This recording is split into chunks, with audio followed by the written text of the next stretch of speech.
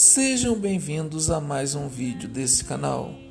Galera, o pastor Felipe Heiderick pode estar morando com um namorado. Trata-se do cabeleireiro e youtuber Bruno de Simone.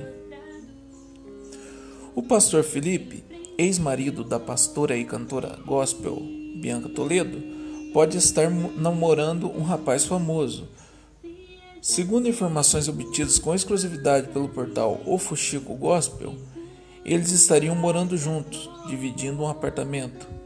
Trata-se do cabeleireiro e youtuber Bruno de Simone. Felipe ficou famoso em todo o Brasil depois de ter sido preso sob a acusação de ter abusado sexualmente do filho de Bianca Toledo.